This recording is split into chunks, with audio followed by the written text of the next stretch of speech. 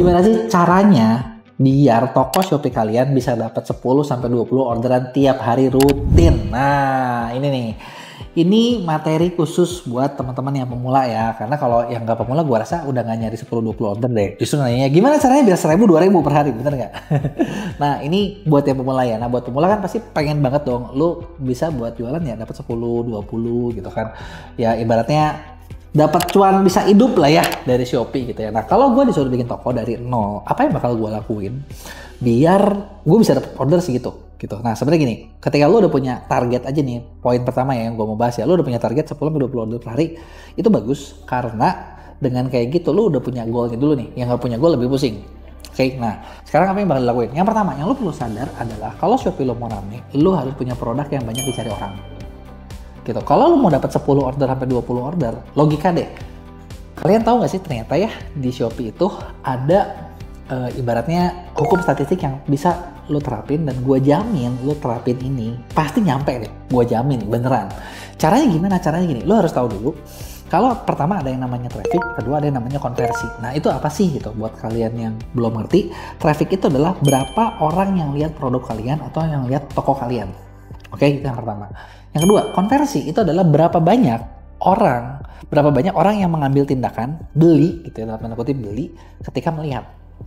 Nah, jadinya gini, traffic itu kalau lihat di offline itu berapa banyak orang yang lewat dan lihat toko lu, konversi berapa banyak orang yang beli. Nah, itu pakai tingkatan, pakai persentase, gitu ya. Nah, kalau kalian mau dapat 10 sampai 20 order per hari, yang lo perlu tahu adalah rata-rata konversi satu produk gitu ya di Shopee itu tuh paling 1 sampai 2 persen toko-toko awal. Satu persen udah oke okay lah, dua persen udah bagus.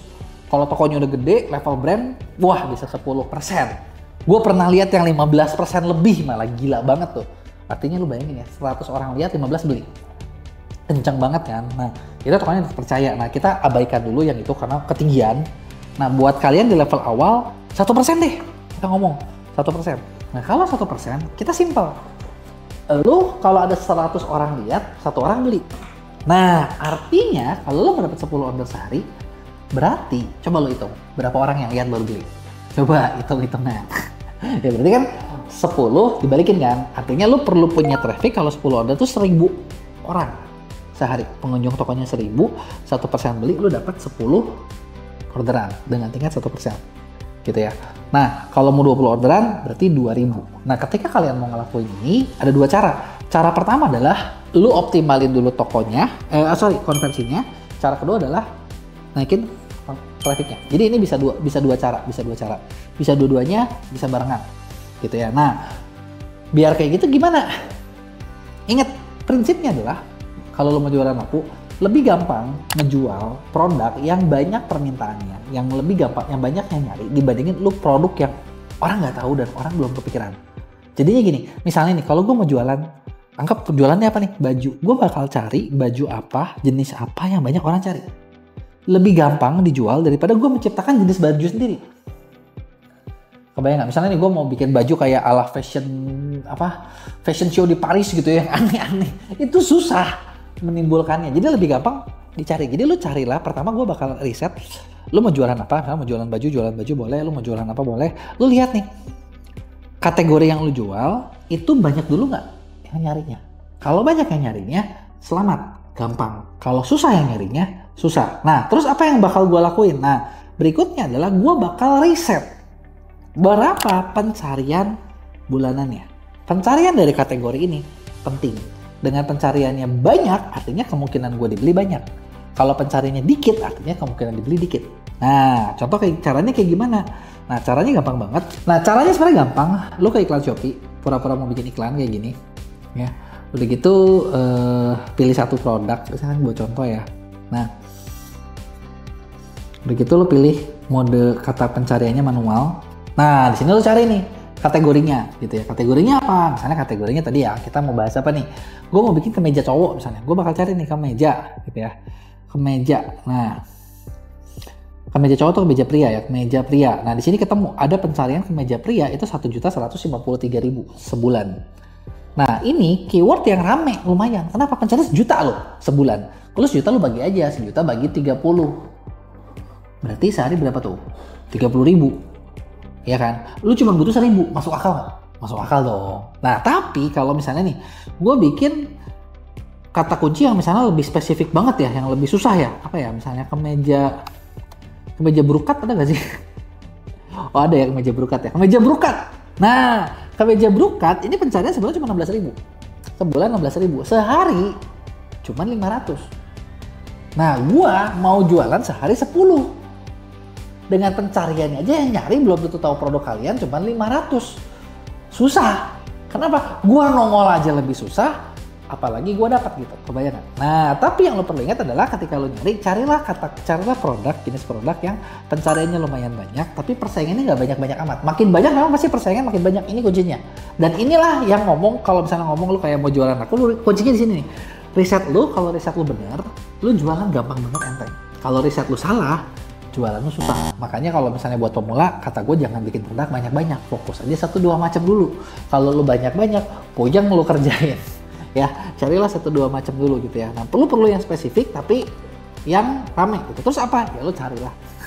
kan bukan tugas gue ngasih tahu, gue cuma ngasih tahu konsepnya gitu ya. Lu cari. Nah, nah kalau udah nemu misalnya lu anggaplah lu udah kepikiran sesuatu produk X gitu ya. Oke, produk X pencariannya ada nggak pencarian kategorinya kalau banyak artinya cukup potensial gitu dan lu nggak usah nyari juta sih sebenarnya kalau buat or sehari seribu sebulan kan cuma butuh traffic tiga puluh ribu bener nggak? Tiga puluh ribu memang nggak mungkin ke kita semua ya. Tapi pencariannya kali 5 150 ribu atau 300 ribu juga cukup untuk lu dapat 10 order per hari. Gitu kan? Nah jadi yang dicari adalah keywordnya pencarian yang kurang lebih sebulan tuh 300 sampai 500 ribuan. Saingannya nggak banyak-banyak amat. Itu potensial. Kebayang ya potensial. Nah, udah udah udah lu nemuin produk, langkah kedua adalah lu bikin produk lu se unik mungkin. Ada highlight apa USB apa nih yang bisa gitu kan. Harganya nggak harus paling murah, tapi bikinlah produk unik jadi ada perbedaan. Jadi orang kalaupun mau bayar lebih tuh, oh ini beda loh gitu loh, kebayang? Nah, kalau lu udah, poin ketiga adalah lu mulai ini nih, lu perlu mulai ngelakuin yang namanya naikkan traffic gitu kan. Nah, gimana cara ningkatin traffic? Ningkatin traffic macam-macam. Bisa dengan cara gini. Kalau kalian udah lihat keywordnya apa aja, produknya yang misalnya bisa bisa muncul dicari. Kalian bikin SKU kalian itu mengandung keyword-keyword tersebut. Udah gitu lu bikin kalau persaingan nggak banyak ya, begitu lo upload biasanya itu bisa muncul. Kalau persaingannya nggak banyak, apalagi kalau spesifik. 3-4 keyword lah. Gitu kan. Nah, lu pantengin keyword mana lo jagain yang kalian punya potensi buat posisinya di atas. Gitu. Dengan gitu aja biasanya lo bisa dapat. Gitu kan? Itu gratis tuh kalau kayak gitu. Nah, kalau nggak paling gampang gimana? Lo iklanin. Lo iklanin, tapi terukur. Terukurnya kayak gimana? Budget biaya iklan lo cuman boleh satu persen dari marginnya. Jadi gini, kalau margin lo 30 ribu, 30 ribu lo kaliin satu persen Artinya 300 perak kan. Biaya iklan kalian per klik cuma boleh 300 perak. Itu lo nggak akan boncos. Nah ketika lo lakuin kayak gini, ini pencariannya ada, produknya ada, gitu ya. Produk SKU kalian bagus. Gua jamin ini gampang banget buat dapat 10 sampai 20 order per hari. Nah sekarang gini, gue tahu nih ketika ngomong profitnya harus sekian gitu kan pasti banyak yang wah bentar nggak bisa nih teori nih gini nih gini nih gimana cara ngelawan kompetitor yang banting-banting harga. Gue kasih sama kalian. Cara paling gampang buat ngebunuh kompetitor yang banting-banting harga adalah lo tahu nama tokonya apa, lo tahu ada kotanya di mana, lo laporin ke kantor pajak. Nah, lo bilang nih, wah ini nih, lo laporin nih, ini, ini, ini, saya yakin pajaknya nggak bener nih gitu kan biar dia kejar pajak. Karena kalau dia kejar pajak gue yakin harga dia berubah. Atau kalau dia kena pajak nanti malah jadi kena kasus ini. Nggak ya bercanda bercanda. Tapi nggak tahu nih gue pengen tahu mau itu box ya menurut kalian? Nah oh ya ngomong-ngomong dari cara tadi kasih tahu gue apakah harga kalian udah masuk belum buat harga admin yang baru? Kasih tahu di komen ya